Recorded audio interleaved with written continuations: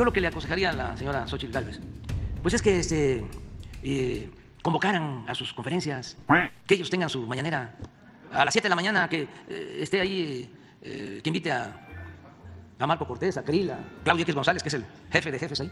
Yo recuerdo que cuando nosotros estábamos en el gobierno de la ciudad, igual informábamos temprano. Pues los del PAN entonces dijeron que ellos iban a hacer su conferencia y este, contrataron el hotel de la Ciudad de México. Ahí un salón del hotel. Y empezaron, pero no aguantaron, o sea, porque este, no están acostumbrados a levantarse temprano. ¿no? Creo que estuvieron un mes, dos, ¿eh? tres semanas, sí. Pues, pero la señora Xochitl este, no eh, es este, eh, tenaz. Puede ser que mantenga la este, conferencia más tiempo. Además, ella es eh, aspirante a candidata. Es todo lo que anda buscando. Sería muy bueno que este, diera sus conferencias, ¿no? Este, pero que no venga aquí. A querer este, utilizar este foro que es para informar y es para comunicar a la gente. O sea, ya sería el colmo, ¿no?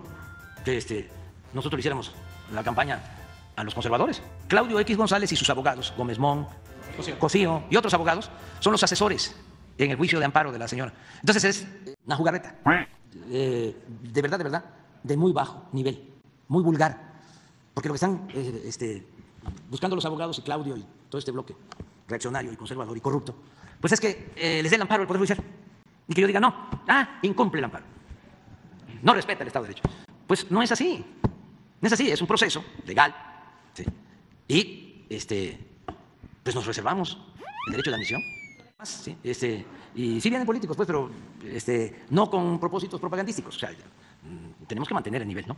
De la conferencia. ¿Ustedes qué piensan? ¿Dejamos entrar aquí que venga Lito y que venga este, Lili Telles y. No vamos a tener que y nosotros. Que venga Claudia X González, que vengan. No.